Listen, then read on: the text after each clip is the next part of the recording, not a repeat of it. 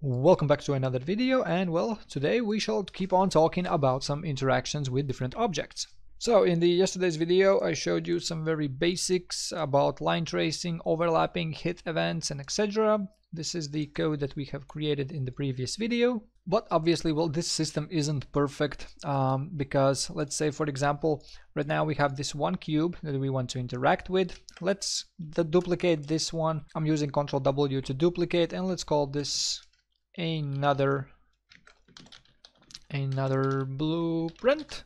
There we go. Let's open this up. I'm going to change the shape of this one. So right now the static mesh is a cube. Let's change this to a let's change this to a sphere. There we go. So right now we have two different actors but the thing is that well this isn't going to work for this actor. As you can see it does not change the color. These ones still do just like we made in the previous video but the spheres don't and that is because in our third person character where we have the change material event we are casting to only to the new blueprint we are not casting to the another blueprint so what we could technically do is whenever we would overlap we would return to this one to the cast failed and I can show you that by printing a hello on failed so if I overlap, you can see hello, hello, hello. This one changes the color. This one says hello. So whenever the actor fails the cast, it goes through this route. Technically, what we could do is then cast to another blueprint, use the same actor as the reference because it is going to return that unit that we have overlapped, and then we could then again set the mesh to have the different material. For that though, we need to get uh, the static mesh from this actor right here. So we can get the mesh, connect to the target, connect the execution. Now this is going to work just fine now. So if we overlap, you can see all of them are changing their colors. But let's say we have like 100 of different actors that we want to interact with. Are we really that interested in creating all of these cast to nodes? Probably not, because that's a lot of work. And if something goes wrong, that's a lot of debugging. So this is where the blueprint interfaces come into play. So now if we would go to our content browser, right click, Go to the blueprint section and right here we have the blueprint interface. Let's create one and let's call this interact interface. Let's open this one up and basically what this does is creates like custom events kind of. And they are called functions over here because you can input and output information.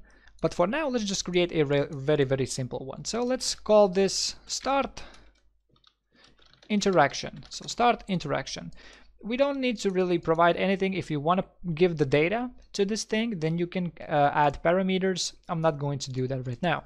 Now, to make this thing work, what we need to do is attach this interface to our actors. So let's open up both of our actors. So we have the new blueprint and the uh, another blueprint. Let's go to our class settings of that blueprint. And here on the right side, we can then add a new interface. Let's look for our interact interface. There we go. After we add this interface, we always got to make sure that we recompile this blueprint. Otherwise, this interface event is not going to be uh, available to us just yet. We need to recompile this. So then what we can do is look for our event start interaction. There we go. So we have this thing. It also has this icon that this is an interface. And this is exactly the same function we just added over here. We can't really do any blueprint stuff over here because this just creates as a um, function that we can then reuse in our actors. Now, technically what we could do is just simply get our mesh and then we could set the material over here. So let's let's do that right now. So let's set our material and so this is the old one, this is the cube. Let's make this green like so. And now let's go to our other blueprint. Let's do the same thing, class settings, add the interact interface, recompile the blueprint, and then let's have our event start interaction. Here we go. And then we can again drag in our static mesh and set the material to a different one. You could technically do a different code as of right now, uh, but well, I'm just working with the materials. So let's set up this one to be a blue one. So now whenever we will overlap any of our actors, we're going to cast to our third person character and we are going to run our change material. Now, instead of casting and doing this whole code over here, what we can do is delete this whole thing, right click and look for start interaction message. So the message is available to you throughout the whole uh, basically throughout the, the whole project. It's going to be available everywhere but the event itself is going to be only available in the actors that have this interface attached to them.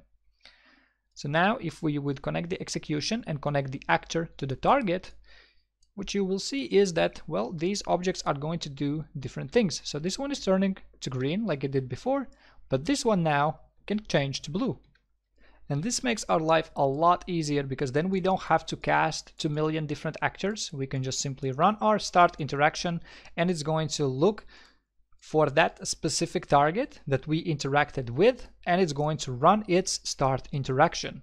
Because for example, for one object, you might want to do one thing, for a different one, you might want to do something else. Also, if you are running the overlap event, technically you don't even have to cast your character. What you could do is well it, it depends on what exactly you want to do but technically you could just simply start the interaction interaction. So we can start interaction. There we go. Uh, make sure that the target is self if you want this start interaction to work in this specific actor. Otherwise then again you need to provide the reference to the actor that you want to start this interaction in. So this is only for the new blueprint so now, as you can see, these cubes are doing the same thing that they did before, except for, well, now we don't even need to cast to our character. We can just simply run it over here. You could create a custom event for that as well, but the interfaces are mostly used because if you are performing a task in a different uh, actor, basically if a different actor wants to start some kind of a task, then you can use this interaction uh, and then, yeah, no more cast nodes. Also, these interfaces are, can be used to return some information. So for example, let's select our start interaction node and then let's create an output for this one.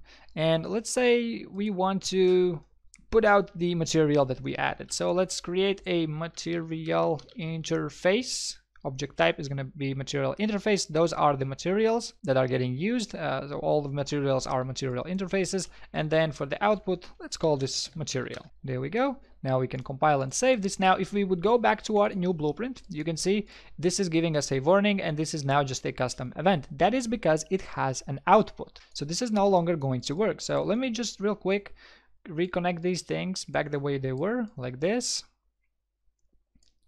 so that we would cast to our character so that we actually have a use for this interface in general and then we can run our change material we can then delete this custom event and i'm just going to copy out the set material node with Control X, save this, and now in the interfaces on the left we have this start interface and we can double click this and this is just like a regular function.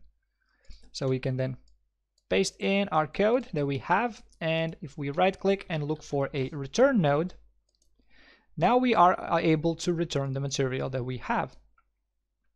So let's make sure we change the material first and then from the static mesh let's get the material that we have. So we can get material. And since this one only uses one material, the index is always going to be zero. And then from the return value, we can plug it into here. Now we must do the same thing for the other one as well. So I'm just going to copy uh, with the uh, return node as well. Go to the other, delete this bunch, double click on start interaction and paste this in.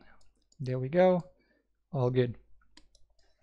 I'm going to delete this node. And now if we would go back to our third person character, you can see that our start interaction is giving us a material output. So we can just print out its name. So we can plug that into print string. And now this is going to print us out the name of that material. You can output any information that you might want. These things do come in really handy uh, because, well, you often do want to pass along information. So this is the color mat.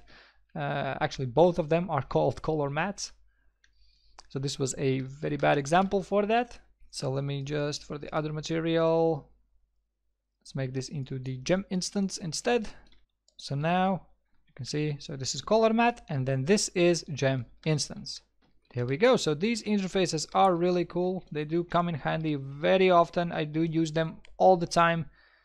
Probably, well, if you are following or will be following any of my series, you will see me use these things very often. Now, another thing that I want to mention real quick is that you can add as many functions to this interface as you want. So for example, if you want to have like a output interaction, you can add that. Then you can also add another function and let's call this no input uh, interact for example and then you can run this and it's gonna have no inputs and you can have as many functions as you like. And all of them are going to be available inside your actors that have this interface attached to them and obviously this interface can be ran with any of the previous methods that we used before. Uh, it can be ran after we spawn an object, after we do a line trace. It doesn't matter because it works exactly the same thing as the cast did. Uh, so we can even after, so for example, if we spawn an object, let's I'm gonna even leave uh, remove that save actor thingy. We we don't need it. We can just simply as soon as we spawn an actor we can run our start interaction. So if we press play you can see as soon as I click I you can see it spawns it already green because as soon as we spawn it that interaction is getting ran and the task is getting done so there we go. That's going to be it for the interactions. Hope you learned something new. Hope this was helpful. Uh, if you haven't subscribed, make sure you do. And I see you in the next one.